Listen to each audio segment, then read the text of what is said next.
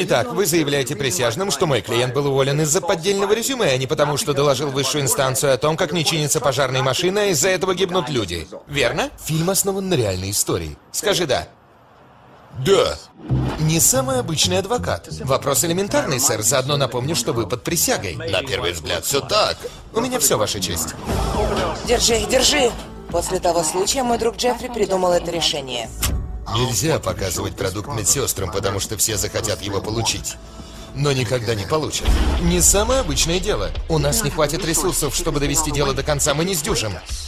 Он сам сидит на таблетках. Сделайте одолжение, избавьте себя от разорения. Вам не вытянуть дело. Увидимся в суде. Ты пожалеешь об этом. У меня на проводе сенатор О'Райли из Вашингтона. Вы наркоман. Я слезу.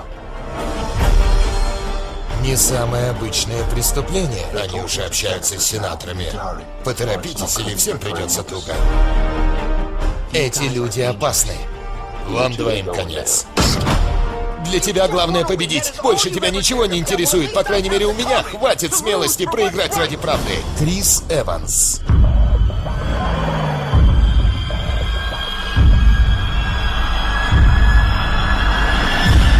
Прокол. Порой самый яркий луч прорывается из кромешной тьмы.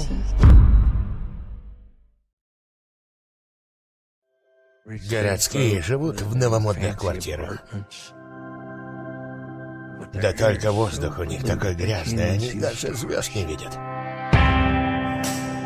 Какими же дураками надо быть, чтобы так жить? Доктор Кейли говорит, нам нужна настоящая школа. Настоящая, значит? Вот где настоящая жизнь, детки! И она всему вас научит! Основана на реальных событиях. Ты ему расскажешь? О нас? Ты нас стыдишься, потому что мы предпочитаем другой образ жизни. Когда ты потеряла любовь к приключениям? От режиссера фильма «Короткий срок 12». Встаем, детки! Дорога нас ждет! Опять коллекторы. Детям надоело переезжать в другой город каждый раз, как тебя увольняют. Все это беготня — вопрос времени. Как подыщем себе идеальное место, начнем строить свой замок. Здесь нет ни водопровода, ни электричества. Не слушайте ее, она лишена воображения. Смотрите летом. Мои родители сквотеры живут в заброшенном доме в Истсайде. Хочешь сказать, что ты сейчас счастлива? Да, счастлива. По мотивам мемуаров Джанет Уолс. Мы не такие, как все. В нашем сердце пылает огонь. Ты способна изменить мир, а предпочитаешь серость. Как думаешь, почему мы от тебя сбежали? Мы задыхались. Я не допущу, чтобы с тобой что-то случилось. Но и не позволю сидеть в тени только потому, что тебе страшно. Ты должен был нас защитить. Ты вправе сердиться, но я знаю, ты его любишь и будешь жалеть, если не вернешься домой. Бри Ларсон. Готова. Вуди Харрельсон. Бежим! Наоми Уотс. Не в меня ты пошла. В тебя. И я рада. Стеклянный замок. 11 августа. В этом мире есть волки и есть овцы. А вы всего лишь два усталых странника, сбившихся с пути. Поэтому сейчас мы вас окрестим водой. Я как-то больше за крещение огнем. Как скажешь. Запишись в мою школу бойцов и стань зверем. Вот этому он хочет посвятить всю свою жизнь. Точно. Еще раз, юноша в одних трусах с особенностями развития, видевший мир только по телеку, сбежал у вас из-под носа, и он вам дорог? Очень. Тогда найдите и верните его. Чего ты за мной увязался? Может, ты станешь моим настоящим другом? Будем скитаться и оттягиваться. Зависать по полной. Твоя бойцовская школа в Эйдене? Да. Пока мы на этой дороге, нам по пути. Я тебя подброшу. Я ищу пропавшего человека. Вы его не видели? Да ты везунчик. Видел твою подругу, Эленор. Похоже, мы оба в бегах. О, е! Молодцом! Правило первое – не отставать. Правило второе – я главный. Какое первое правило? Тусить по полной? Нет, не тусить. Давай! Зак, ты ведешь наивного ребенка черт знает куда. Все ясно, пока ты перекладывала бумажки, мы познавали жизнь. Хо-хо, ну ты даешь. Тайлер, я подарю тебе все мои желания на день рождения. Я дал слово, что отвезу его в бойцовскую школу. Ты правда верил, что мы отправимся Да, в круиз да, на я плоту? понимаю. Эй, Эленор! Не хочу домой! О, о, о.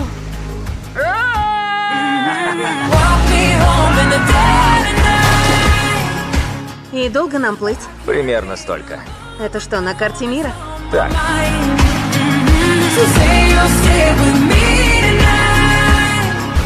Настала пора возвращаться.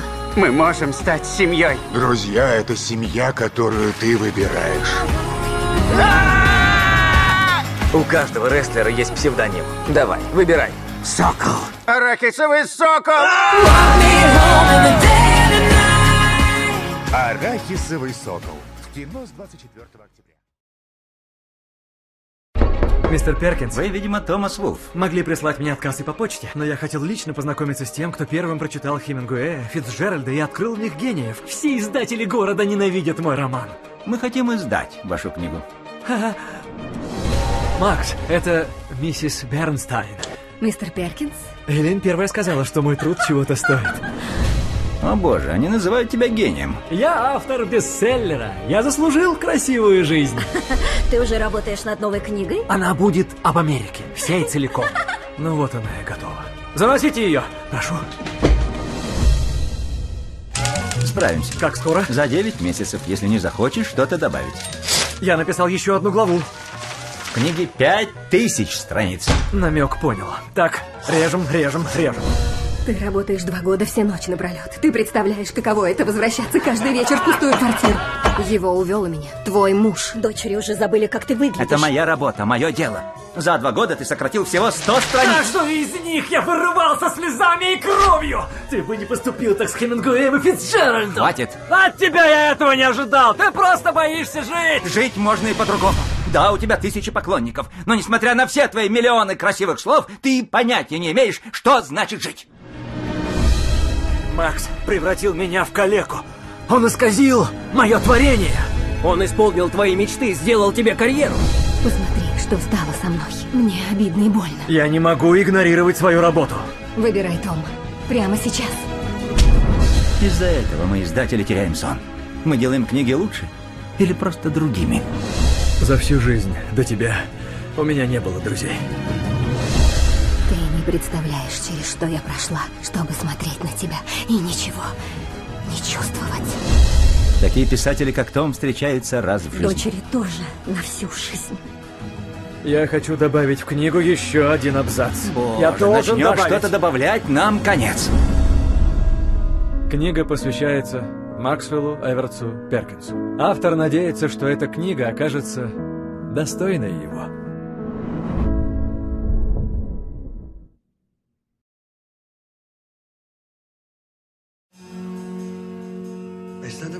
Хорошо, что мы не занимались с тобой любовью. Я уже и забыл, каково это — любить кого-то. Совсем забыл. Я был рожден, чтобы чувствовать. Мне было суждено стать писателем. Стать Джепом Гамбарделло. С днем рождения, Джеб! Да здравствует Рим! Это моя жизнь. Но все это ничто. 40 лет тому назад я написал один единственный роман. Да его даже в книжных магазинах не продают. Какого черта ты несешь? Твой роман «Человеческое тело» просто шедевр. Я люблю фотографировать саму себя. Хочешь посмотреть? Конечно. Почти сразу после своего 65-го дня рождения я совершил одно важное открытие. Я понял, что не могу больше делать то, что мне не хочется. Ты изменился. Стал таким задумчивым. Как тебе Министрона, Джипина? Как ты меня назвала Джипина, так меня уже лет сто никто не называл. Я чувствую себя старым. Ну так ты и не молод.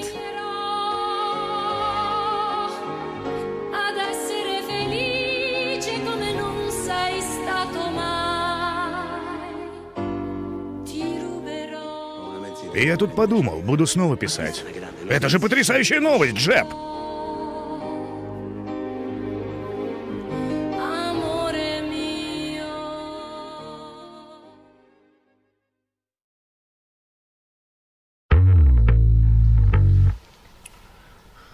Что скажешь? Будешь моим вице-президентом. Решайся, ты мне нужен? Ну, Джордж, я возглавляю большую корпорацию. Я был министром обороны, главой администрации Белого дома. А вице-президент — это, в общем, должность символическая. Ага. Однако, если мы придем э, к иному пониманию, я мог бы взять на себя рутинные дела. Контроль госаппарата, армии, энергетики и внешней политики. Ну да. Мне нравится.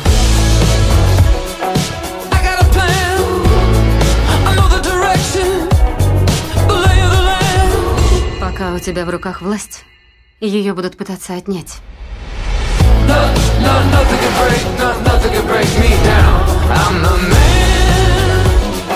Ты стал еще жестче, чем раньше.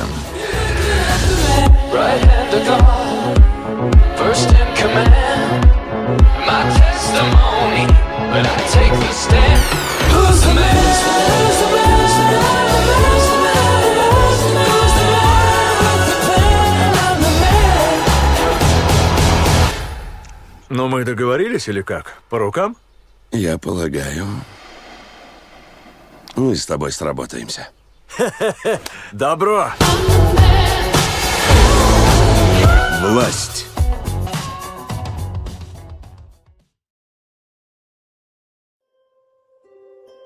Увлекаетесь политикой, мистер Гейтс? Нет, сэр. Хорошо. Мы в Белом доме не выносим политику. Я Сесиль Гейнс, новый дворецкий. Основано на реальных событиях. Ты ничего не видишь и не слышишь. Ты прислуга. Знаете, он ведь сам нашел эту работу. Белый дом его пригласил, он не напрашивался. Не терпится услышать все сплетни. Не знаю, что ты из него вытянешь. Похоже, он дал обет молчания. И я так тобой горжусь. Режиссер Ли Дэниелс. Ты учился в смешанной школе, Сесил? Я не ходил в школу, господин президент. Я вырос на хлопковой плантации. Иди работай. Не выводи его из себя. Это его мир. Нам просто дозволено в нем жить. Однажды ты всего добьешься. Человек с непростым прошлым. Вам нужна помощь? Ты разбил витрину, украл еду, а теперь просишь взять тебя на работу? Я умею работать. Вошел в историю. Говорят, этот белый славный малый. Для меня будет огромной честью работать с вами ближайшие четыре года. Доктор Кинг, чем занимается твой отец? Он дворецкий. Братишка, черные слуги сыграли не последнюю роль в нашей истории. Кое-что произошло, пап. Господин президент, я знаю, что твой сын один из писателей свободы. Поворачивай! Все на выход! Я так до конца и не осознал, через что тебе пришлось пройти. Ты изменил меня. Форест Уитакер. Движение черных развернулось вовсю. Я дал добро, чтобы отловить этих ублюдков. Опра Уинфри. Ты понимаешь, что они убьют тебя? В этой стране с нами обращаются как с собаками. Ты не тюремщик, так что уходи. Что? Проваливай к черту из моего дома! Простите, мистер Батлер, вы же у нас герой. Джон Кьюсак, Джейн Фонда, Кьюба Гудинг-младший, Терренс Ховард, Ленни Кравец, Мелисса Лео, Дэвид Паюлоуа, Ванесса Редгрейв, Алан Рикман, Лив Шрайбер, Робин Уильямс. Все, что у тебя есть, ты получил благодаря тому самому дворецкому. Дворецкий. Скоро.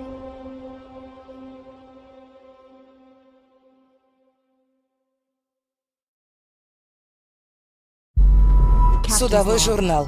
Последняя запись. Мы со Споком единственные выжившие. Энтерпрайз. Ответьте, прием. Доброе утро, Венди. Доброе утро, Скотти. Пройдемся по нашему расписанию. Просыпаюсь, иду на работу. Заходите в Синабон. Не желаете булочку? Как сценарий? Пишу о том, как Спок отправляется на глубокий космос 9. Звучит очень круто. Три часа дня гуляю с Питом. Шесть вечера. Смотрю перед сном Звездный путь.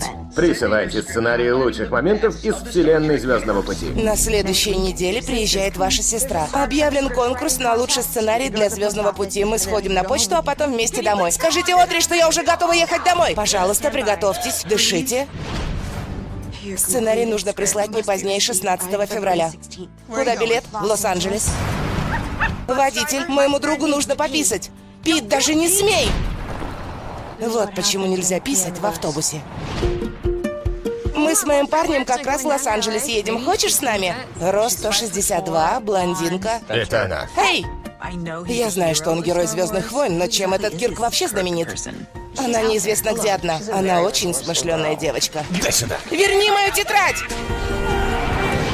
Где я? Вы в больнице головой ударились. Она выпрыгнула из окна. Как она смогла сбежать?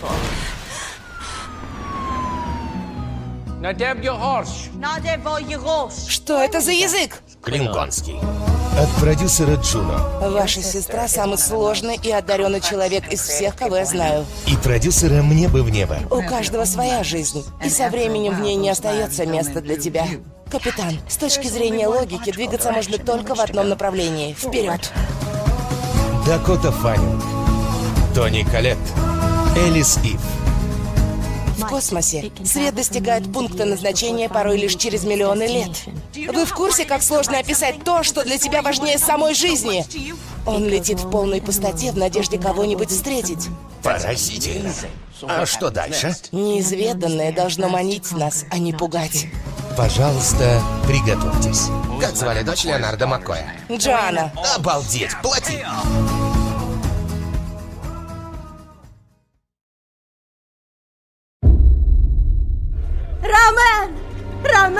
Ромен, сынок! Ромен, тебе посылка! Никогда еще сын так не ненавидел свою мать. Ты станешь генералом! Послом Франции! Писателем!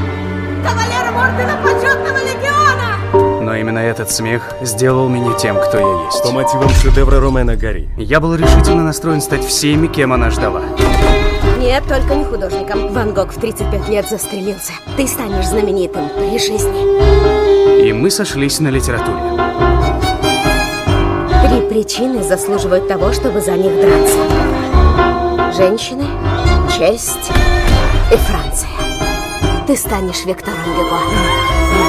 Что тут происходит? Да отстань ты от меня! Займись собственной жизнью!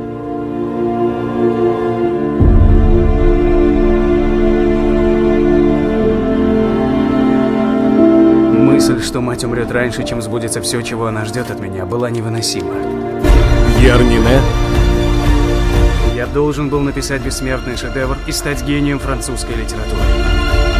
Шарлотта Гинзбург. Я дал себе слово оправдать ее жертву. Стать достойным ее. Это станет делом моей жизни. Пишешь уже несколько месяцев. Да, просто идет война. И я не могу выполнить то, что ты хочешь. Я болен. И что? Я обещала всем, что ты спасешь Францию.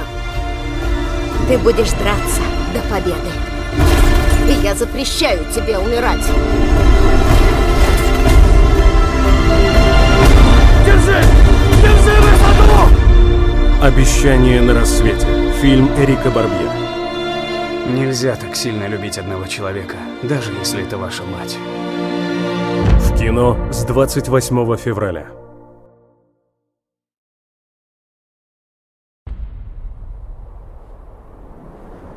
Я собираюсь пересечь Австралию по пустыне Матали Спрингс до Индийского океана. Это примерно 3000 километров. Когда меня спрашивают, зачем я это делаю, я отвечаю, почему бы нет. План у тебя смехотворный. А может сократить маршрут?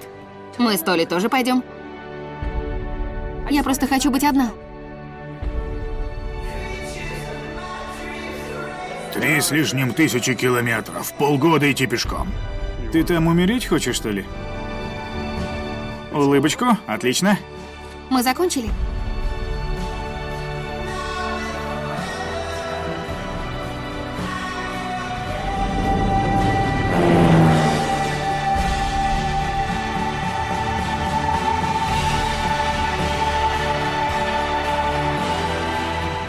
Легко заблудиться. Где мы?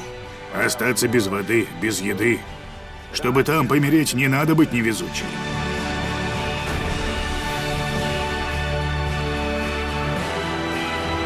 По пути я буду оставлять канистры с водой. Ты уверен? На сто процентов.